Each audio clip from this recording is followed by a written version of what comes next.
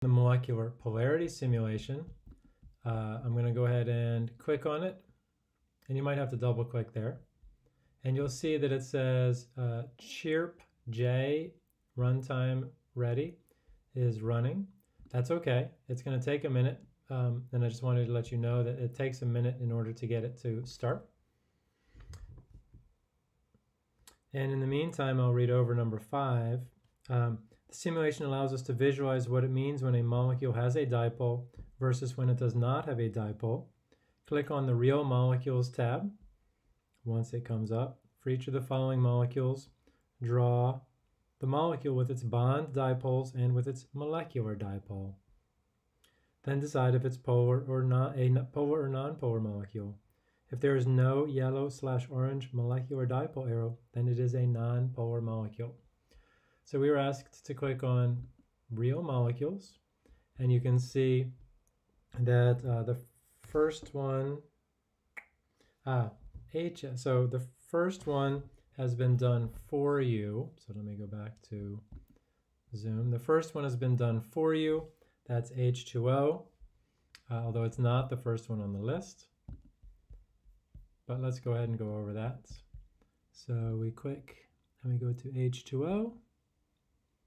We can see H1 and H2 and the O, same colors as before. And what we're going to be interested in is making sure that we show the di bond dipoles. And the bond dipoles are going to be arrows pointing from hydrogen towards oxygen. That's what we've been talking about in class. And that means that the hydrogen is partially positive and the oxygen is partially negative. Same with this hydrogen over here. We can show partial charges. Uh, and you can see that this one actually gives it numbers. So the delta here is 0.38 that's a partial positive charge. Same thing for the other hydrogen. And for the oxygen, it's minus 0.75. So it is partially negative, getting close to full on negative though, true. And uh, now let's do the uh, molecular dipole. And the molecular dipole is uh, directed um, towards the oxygen or, or even away from it, but in the direction of the oxygen. So um, please draw that. That's what I've attempted to draw on my figure pretty closely, although you can draw it more like this or more like it's on the page. Now, let's go ahead and do another one. So I'm going to now do the next one on list B, which is ammonia. And ammonia, this is a little bit of a tough view, so I'm going to move it a little bit. Well, As we already know, ammonia is a uh, tetrahedral electron geometry. There's a pair of electrons up here that is not shown in this representation of ammonia, but is shown in the previous ones we've talked about. And we've got our, let's see, so let's, let's get rid of the molecular dipole and the partial charges. And now we can start to see that the uh, arrows for hydrogen is pointing towards nitrogen for hydrogen, this is the plus end, is pointing towards nitrogen.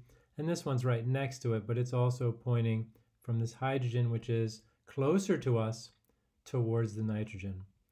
And um, so, and I'll actually, let's clear out the bond. So you are going to draw bond dipoles, and I suggest you do bond dipoles in one color and molecular dipole in another.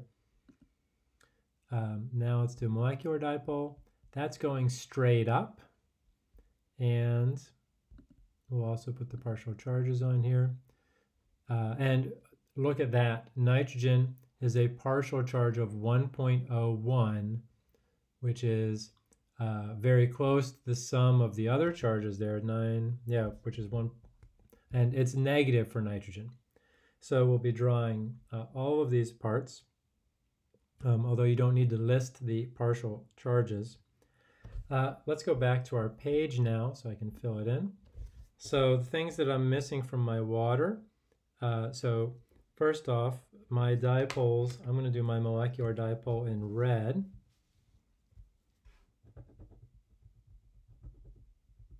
Pointing up like that. Um, and is this a polar or not? So anyone that has a molecular dipole is a polar molecule. Now, let's go ahead and do ammonia. And so there's going to be a nitrogen and three hydrogens. And drawing the bond dipoles, they're going to all be pointing from hydrogen to nitrogen. And then drawing the molecular dipole, it's going to be straight up. And you can draw them as straight regular arrows or as plus arrows, as we've done in lecture. This is also a polar molecule. Polar because it has a molecular dipole. And so far, just thinking about dipoles, so there's no left and right part to the molecular dipole because this right part and this left part cancel out, but the up part it does not cancel, and in fact, that's why this goes up as a molecular dipole. Similar thing going on here. There's lots of left and rights uh, down here, but then all of these have a portion going up, and that's what creates a molecular dipole going up right here. Um, good. Now, uh, in contrast, let's go ahead and look at CH4. Then I'll turn you loose to do these by yourself. Let's say take away everything. And CH4 CF4 CH4 there we go. So here it is and it's all it's tetrahedral glory. See if I can get it to how I like to look at tetrahedral I may not be able to close nope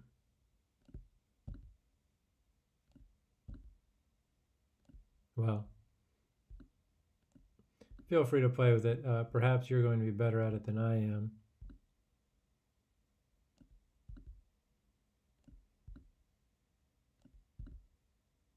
Pull that one down, pull that one down a little bit. Oop, I got double click there. It flew all over the place. There you go. There's my preferred orientation because you've got three of them going down, one of them going pretty much straight up. Almost. Yes, and so um, let's go ahead and draw that.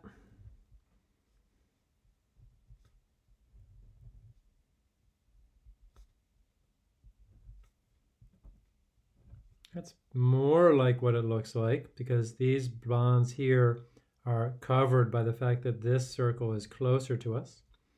We have C, H, H, H, H. Let's go ahead and click and show the uh, bond dipoles. And the bond dipoles, just like we might expect, are all going from hydrogen to carbon. And we'll do the best we can to draw them. That's what they look like there. Oop, I just drew them, but let me show you. So there we go. That's the best drawing I can do. So approximate something like that. Kind of close, can't even focus.